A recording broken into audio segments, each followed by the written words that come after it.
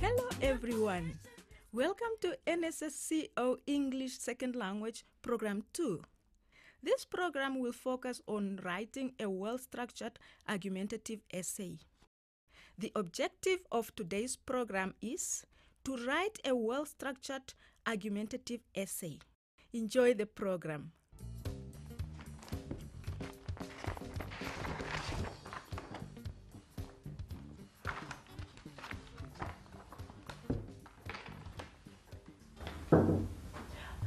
Oh, and I've got some great news. We got a reply from some of the businesses from which we requested sponsorships for our Miss Northern High School competition. Mr. Muller of Ideal Creations has offered us a $3,000 and a hamper each for our Miss Northern High and her princesses. That's wonderful, ma'am. That's not all. The mm-hmm. owner of Corner Bookshop wants us to launch an essay competition because she wants more learners to get involved. She will give three cash prizes a first, a second, and a third prize. That's interesting. I mean, that way we'll also be able to advertise the event. Now, what is this essay all about? She wants learners to argue whether or not beauty competitions oppress or humiliate women. Hmm, interesting. May I take part?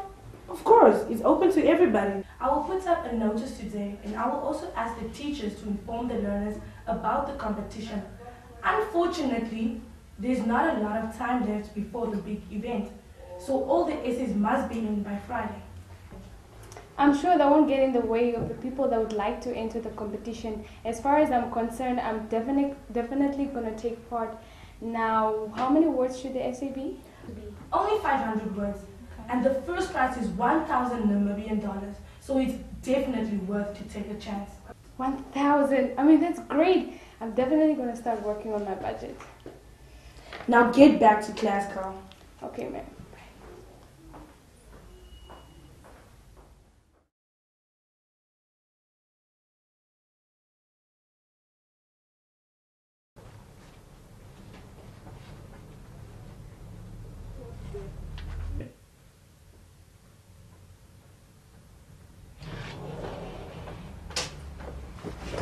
You have to help me. I need to write an essay for an essay competition. I can win like a thousand Namibian dollars. Hello, Anne. Oh, hi. Sorry, uh, I just got carried away when I'm just so excited about this competition. So, what's the essay all about? Well, it's a long story. Um, I'm not going anywhere. Well, okay, you know that I'm part of the Matric Fair organizing committee, right? Okay, well, Miss Samata helped me write a letter to some local businesses asking them for sponsorship so that they can help us with the Miss Northern High competition. Well, this morning she gave me the feedback and she told me that Mr. Muller from Ideal Creations agreed to sponsor us with some money as well as some hampers for the winners. And the owner of the corner bookshop agreed, uh, suggested that we have an essay competition and that she would give, of which would give three cash prizes. And the first one is a thousand Namibian dollars. Wow, that's nice.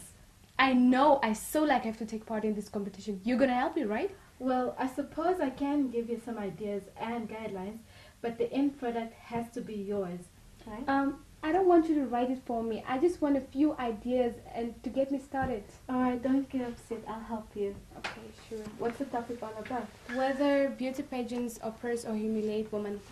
So, it's an argumentative essay. Yeah. Okay, um, first of all, you have to decide whether you agree with the statement or not. Mm-hmm. It's always best to look at the issue from both sides.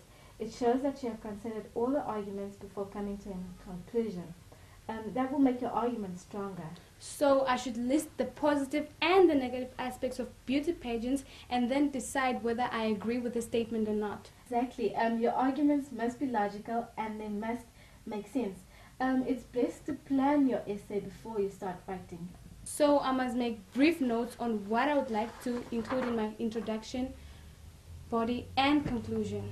Yes, um, list down the ideas you wish to include under those headings. Make sure your heading is captivating. Introduce your topics in the introduction. You can start by describing the beauty pageant in a positive way, for instance. Make your point of view clear in the opening paragraph already. By the way, do you agree with the statement or not? Well, not really. I think there's a lot of.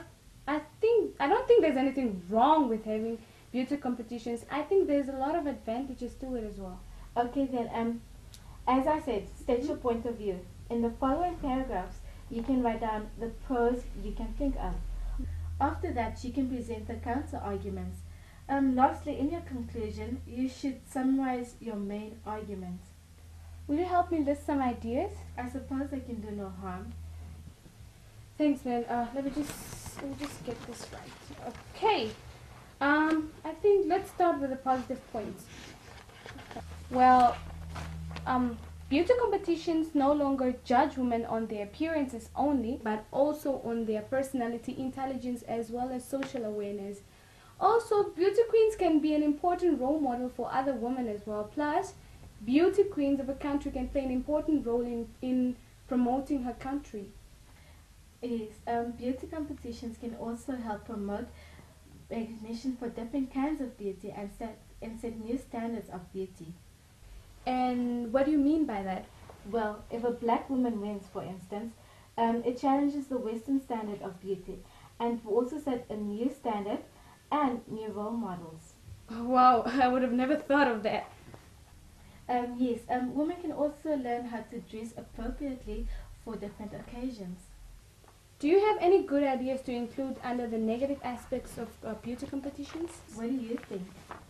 Um, well, well, I was just thinking that beauty competitions might reinforce the perception that women should be judged on their looks and that women's appearance is the most important basis for judging her value. Good. Um, it might also put pressure on other women to try and live up to certain standards of living, certain standards of beauty, and reinforce harmful standards of physical appearance.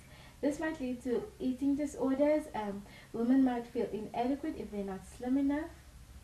Well, I think that's enough for now. If I elaborate on each of these ideas, I think I'll have enough words. now, Um, do you have any advice for me? Well, there are some typical phrases and linking words that you can use when writing an argumentative essay. Like?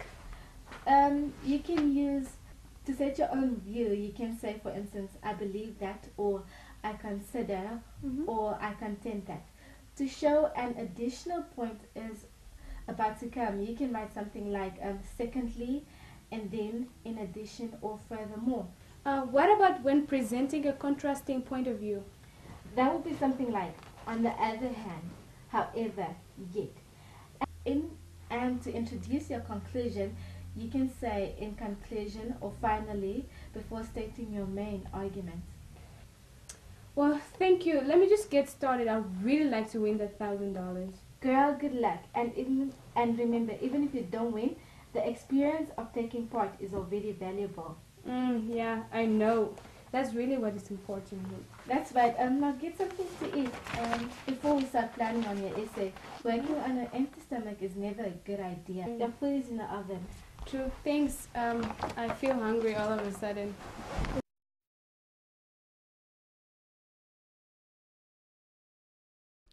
Plan your essay carefully before starting to write. Your essay must consist of an introduction, body, and conclusion. Divide your essay into useful paragraphs using linking words. Look at an issue from both sides, but clearly state your point of view.